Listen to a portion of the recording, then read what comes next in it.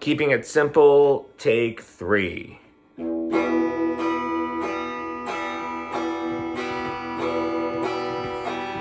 Keeping it simple for a weekend tune. Wrote in April, but meant for June. Two chords, simple melody. Guess what?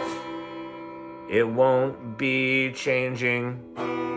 Keeping it simple for a weekend tune, not nearly meant to make you swoon could be meta by half. That could help it last.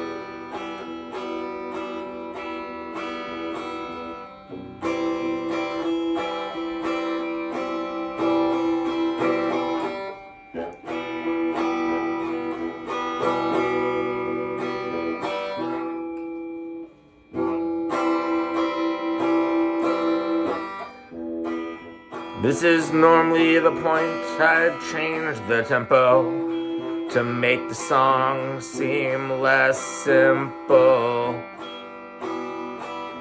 I'm not gonna do that, just gonna keep my vocals flat.